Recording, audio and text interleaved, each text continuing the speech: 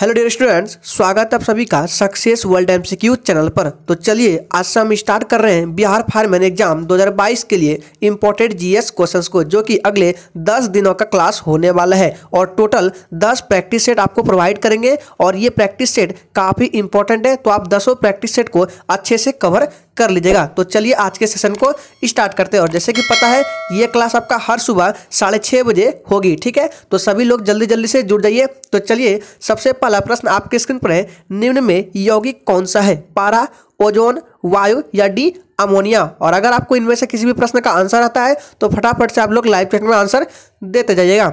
जी बिल्कुल, एक का राइट आंसर जो बच्चे लाइव चैट में डी को दे रहे हैं, उनका बिल्कुल सही जवाब हो जाएगा अमोनिया, ठीक है? निम्न में से यौगिक कौन सा है? तो अमोनिया आपका एक यौगिक है ऑप्शन डी बिल्कुल सही जवाब हो जाएगा। ये काफ़ी इंपॉर्टेंट प्रश्न है तो आप वीडियो में लास्ट तक बने रहिएगा। फिर से बोल रहे हैं, आपको दसों प्रैक्टिस सेट को अच्छे से कवर कर लेना है, क्योंकि बिहार फायरमैन की दृष्टि से यह दसों प्रैक्टिस सेट आपके एग्ज़ाम के लिए काफ़ी इंपॉर्टेंट है। दूसरा प्रश्न है, निम्न में कौन सा रासायनिक यौगिक है? वायु, ऑक्सीजन, अमोनिया या फिर डी, पारा? चलिए फटाफट से लाइव चैट में आंसर कर देंगे आप लोग। जी बिल्कुल, दूसरे का राइट आंसर जो भी बच्चे लाइव चैट में सी को दे रहे हैं, उनका बिल्कुल सही जवाब है। ये अमोनिया आपका एक रासायनिक यौगिक है ऑप्शन सी बिल्कुल सही जवाब है। चलिए इसी के साथ आगे बढ़ते हैं। अगला प्रश्न आपके स्क्रीन पर है, विद्युत मरकरी लैंप में रहता है, क्या कम दाब पर पारा रहता है, अधिक दाब पर पारा रहता है नियॉन और पारा या डी इनमें से कोई नहीं। है जी बिल्कुल तीन का राइट आंसर आपका ऑप्शन चला जाएगा एक के साथ क्या जाएगा? कम दाब पर पारा रहता है आपका विद्युत मरकरी लैंप में। ऑप्शन ए इस प्रश्न का बिल्कुल सही जवाब हो जाएगा। चलिए इसी के साथ आगे बढ़ते हैं। अगर आपको ये सेशन अच्छा लग रहा है तो प्लीज़ सभी लोग दिल से एक बार सेशन को लाइक कर देंगे। चौथा प्रश्न है, एक किलोवाट घंटा का मान कितना होता है? चलिए फटाफट से लाइव चैट में आंसर देते जाएँगे। जी बिल्कुल सभी को गुड मॉर्निंग गुड मॉर्निंग तो चलिए, चार का राइट आंसर जो ये बच्चे लाइव चैट में एक होते रहे हैं बिल्कुल सही जवाब है three into six sorry three point six into ten to the power six joule ठीक है? एक किलोवाट घंटा बराबर होता है। क्या होता है?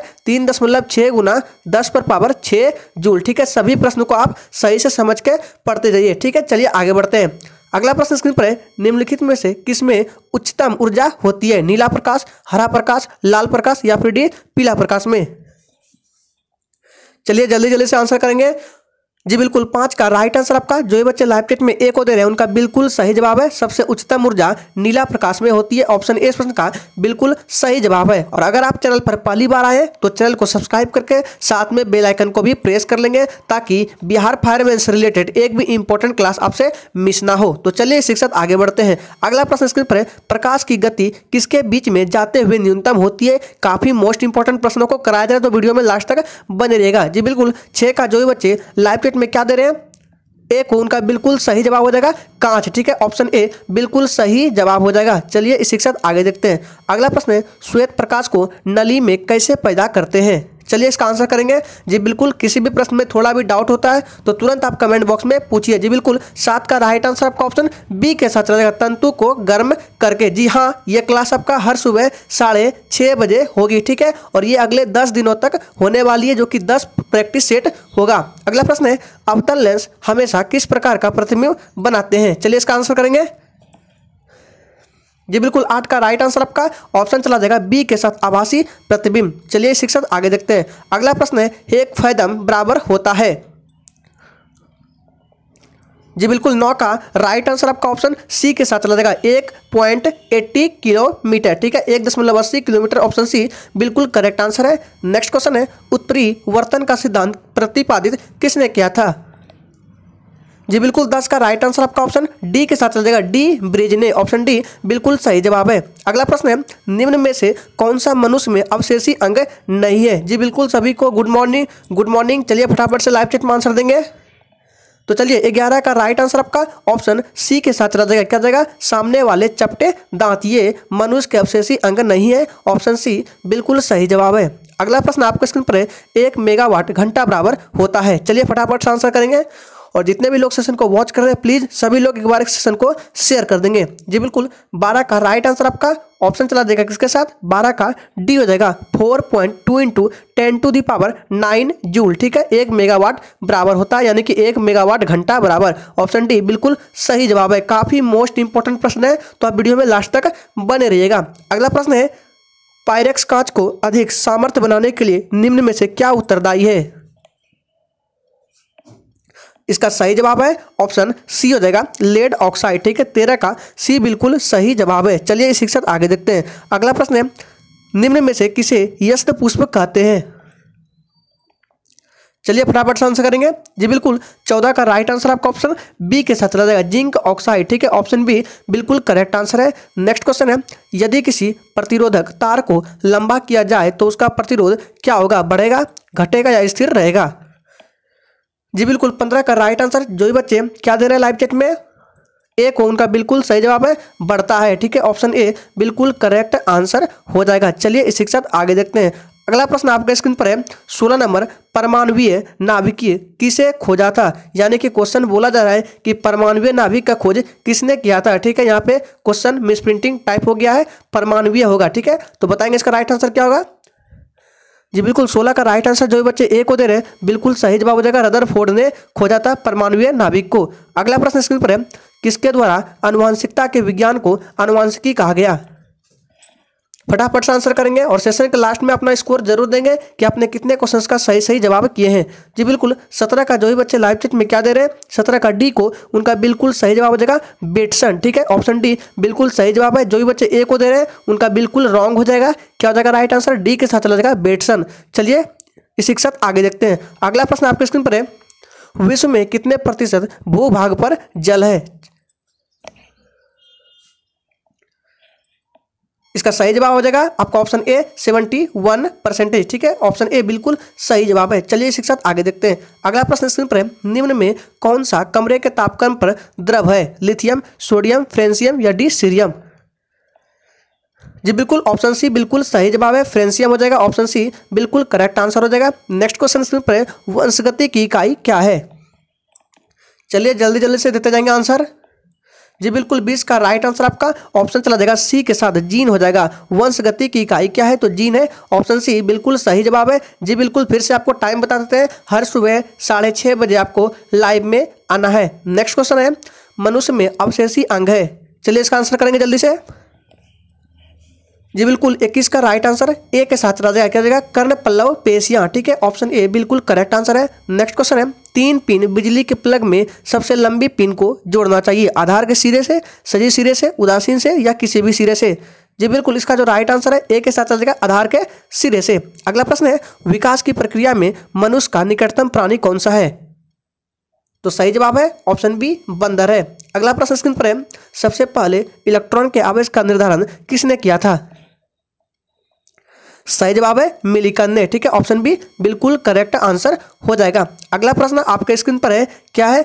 पायरोमीटर का प्रयोग करते हैं। किसकी नापने में, गहराई मापने में, आर्द्रता नापने में, तापक्रम मापने में या डी ऊंचाई नापने में? जी बिल्कुल 25 का राइट आंसर आपका ऑप्शन सी के साथ चला जाएगा। तापक्रम मापने में ऑप्शन सी बिल्कुल सही जवाब है। चलिए आगे देखते हैं। अगला प्रश्न है, जल का रासायनिक सूत्र होता है। सही जवाब है, ऑप्शन सी एच टू होता है, जल का रासायनिक सूत्र। अगला प्रश्न है, निम्न में से किसको अनुवांशिकी का पिता कहा जाता है? सही जवाब है, option C Gregor Johann Mendel को, ठीक है? ऑप्शन सी बिल्कुल सही जवाब है। अगला प्रश्न पर है, सन उन्नीस सौ उनसठ के कृत्रिम रूप से डीएनए को संश्लेषित करने हेतु पुरस्कार किसको मिला था? सही जवाब है, ऑप्शन ए कॉर्न वर्ग को ऑप्शन ए इस प्रश्न का बिल्कुल सही जवाब है। चलिए शिक्षक आगे देखते हैं। अगला प्रश्न स्क्रीन पर है। प्रकाश छोटे छोटे कणों से मिलकर बना है, जिसे कहते हैं परमाणु न्यूट्रॉन, पोजिट्रॉन या डी फोटोन। काफ़ी मोस्ट इंपॉर्टेंट प्रश्न है। चलिए इसका राइट आंसर देंगे। जी बिल्कुल, जो भी बच्चे लाइव चेट में उनतीस का डी दे रहे हैं, उनका बिल्कुल सही जवाब हो जाएगा। फोटोन ऑप्शन डी बिल्कुल सही जवाब है। अगर आपने अभी तक सेशन को लाइक नहीं किया है तो जितने भी लोग सेशन को वॉच कर रहे हैं प्लीज़ सभी लोग एक बार सेशन को लाइक कर देंगे और सभी दोस्तों के साथ इस सेशन को एक बार शेयर कर देंगे। जी बिल्कुल, तीस नंबर प्रश्न है, पानी में भरे कब की तली में एक पत्थर रखा है? पत्थर की आभासी गहराई क्या है? जी बिल्कुल, तीस का राइट आंसर आपका ऑप्शन बी के साथ चला जाएगा इसकी वास्तविक गहराई से कम, ठीक है? ऑप्शन बी बिल्कुल सही जवाब है, ठीक है? इसकी गहराई क्या है? इसकी वास्तविक गहराई से कम दिखाई देगा। ऑप्शन बी बिल्कुल करेक्ट आंसर है। नेक्स्ट क्वेश्चन है, एक अंतरिक्ष यात्री को अंतरिक्ष में आकाश कैसा दिखाई देगा? जी बिल्कुल, इसका राइट आंसर आपका, जो भी बच्चे लाइव चेट में जलिए फटाफट से दीजिए। डी बिल्कुल सही जवाब हो जाएगा क्या हो जाएगा? काला हो जाएगा। अगला प्रश्न आपके स्क्रीन पर है। विकिरण की कण प्रकृति के पुष्टि किससे की जाती है? चलिए जी बिल्कुल, इसका राइट आंसर आपका बत्तीस का क्या हो जाएगा? बी हो जाएगा प्रकाश, वैद्युत प्रभाव। ऑप्शन बी बिल्कुल सही जवाब है। काफ़ी मोस्ट इंपॉर्टेंट प्रश्न है तो वीडियो में लास्ट तक बने रहिएगा। बीस से आपको छोड़ के नहीं जाना है और दसों प्रैक्टिस सेट को आपको अच्छे से कवर कर लेना है। तैतीस नंबर प्रश्न है फोटोन किसकी मूलभूत यूनिट है? चलिए फटाफट से आंसर करेंगे। जी बिल्कुल, तैतीस का राइट आंसर जो भी बच्चे लाइव चेट में एक होते हैं, उनका बिल्कुल सही जवाब है प्रकाश की ठीक है? फोटोन किसकी मूलभूत यूनिट है? तो प्रकाश की है अगला प्रश्न है तरन ताल वास्तविक गहराई से कम गहरा दिखाई देता है, इसका कारण क्या है? जी बिल्कुल, जो भी बच्चे लाइव चेट में क्या दे रहे हैं? एक, उनका बिल्कुल सही जवाब है अपरिवर्तन, ठीक है? ऑप्शन ए बिल्कुल सही जवाब है। अगला प्रश्न है, किसी तारे का रंग पता चलता है उसके भार का, आकार का, ताप का या डी, दूरी का? अगर आपने अभी तक चैनल को सब्सक्राइब नहीं किया है तो सब्सक्राइब कर लेंगे और साथ में बेल आइकन को भी प्रेस कर लेंगे। जी बिल्कुल, पैंतीस का राइट आंसर आपका ऑप्शन सी के साथ रहेगा क्या देगा ताप का, ठीक है? किसी तारे के रंग से क्या पता चलता है? उसके ताप का पता चलता है। ऑप्शन सी बिल्कुल सही जवाब है। अगला प्रश्न है फ़ोटो क्रोमेटिक कांच में किसकी उपस्थिति के कारण काला रंग होने का गुणधर्म होता है? काफ़ी मोस्ट इंपॉर्टेंट प्रश्न है। चलिए इसका आंसर करेंगे। जी बिल्कुल, छत्तीस का जो भी बच्चे डी को दे रहे हैं, उनका बिल्कुल सही जवाब हो जाएगा रजत क्लोराइड। अगला प्रश्न है, कांच प्रबलित प्लास्टिक बनाने के लिए किस प्रकार के कांच का प्रयोग किया जाता है? चलिए, फटाफट से आंसर देंगे। जी बिल्कुल, ऑप्शन क्या जाएगा? सैंतीस का क्या जाएगा? याद रखिएगा डी हो जाएगा रेसे कांच, ठीक है? ऑप्शन डी बिल्कुल करेक्ट आंसर है रेसा कांच। अगला प्रश्न है, निम्न में से कौन सा विद्युत का चालक है? चलिए फटाक से आंसर करने काफ़ी इंपॉर्टेंट प्रश्न है रबड़ शुद्ध जल लवन जल या डी बेंजिन? जी बिल्कुल, जो भी बच्चे अड़तीस का ऑप्शन नंबर क्या दे रहे हैं? सी कौन का? बिल्कुल सही जवाब है लवन जल ऑप्शन सी बिल्कुल सही जवाब हो जाएगा। क्या हो जाएगा? लवन जल चलिए आगे बढ़ते हैं। अगला प्रश्न है, चुंबक बनाने के लिए किस मिश्र धातु का प्रयोग किया जाता है?